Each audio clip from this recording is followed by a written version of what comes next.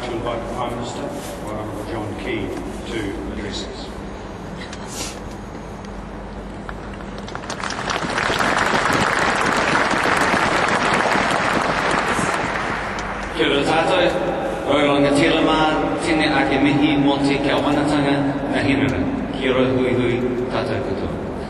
Can I just begin by acknowledging Dave Pell, uh, my parliamentary colleagues who are with me this morning, Michael Woodhouse, uh, Jacqui Dean, Eric Roy, uh, and all the members of the Trust. It's wonderful to be here today at the official opening of the Forsyth Barr Stadium. I personally think today is an incredibly important day, not just for Dunedin, uh, but for the future of Dunedin and the future of this uh, great province of New Zealand. And I think that because, in my mind, uh, this is a part of the world that's known for its love of sport, uh, its love of culture, and of events. And this stadium is going to be an important uh, milestone uh, to carrying on that great tradition. The old Carisbrook was always known as uh, the House of Pain. I suspect the new Forsyth Barr Stadium will be known as the House of Pain and Pleasure.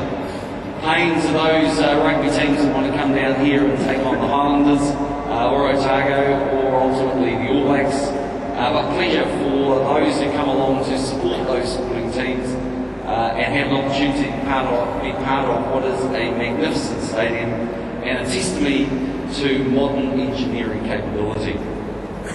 As Malcolm mentioned, uh, mentioned when I uh, first became Prime Minister, I was uh, incredibly keen to put money into the stadium. So the government made the decision to put $15 million into the stadium. And the reason I was of that view was that I think that the future of the city is firmly based around uh, the strength of its university. Uh, the University of Otago has a world-class reputation, and deservedly so. And this stadium is more than just a sporting event or a place where we can hold concerts or cultural events. It's an integral part of uh, the growth of the university and the growth of the medical school. And in my view, uh, that will become even more significant uh, as the years go by. And so it was my view that the government should step up, uh, put some money in, make sure that the stadium uh, could uh, go ahead uh, and be built form that it is today. I remember being here uh, two years ago when they were just starting the construction and Arrow took me around and uh, we were looking over and talking about the risks of building a stadium like this uh, with such uh, technological uh, difficulties and challenges and uh, no one underestimated those.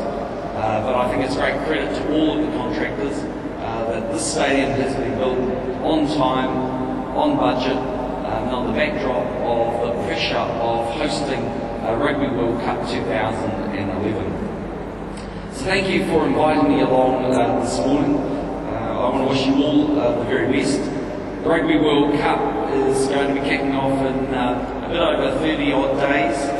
It's going to be a magnificent sporting event for New Zealand. It will be the third largest sporting event in the world, eclipsed only by the Olympic Games and the FIFA Football World Cup. It'll be the single largest sporting event that New Zealand has ever hosted. 85,000 people will be coming from overseas to New Zealand to get an experience not only just of rugby but of the culture uh, and the kind of country that New Zealand is.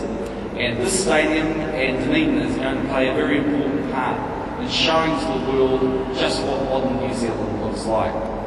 You'll be hosting uh, four games down here, uh, but not the least the English will be down here, no doubt, the uh, Army, uh, screaming in support of those men who will be running out uh, pretending to be All Blacks in their black kit, knowing in their heart of hearts that there's only one team that can wear black with pride and on a winning formula, and that's the mighty All Blacks. So make sure you enjoy the event. Um, make sure that uh, you look forward to all the great things that are going to come out of the Rugby World Cup. Uh, this stadium will live on long beyond uh, World Cup 2011. uh, but its significance and its history will be marked uh, by the milestone of those four games and by the hosting of this event. Uh, thank you for allowing me to be part of what is, I believe, a very special and important day for the city of Dunedin and for the people of the South Island. Nā reira, tēnā koutou, tēnā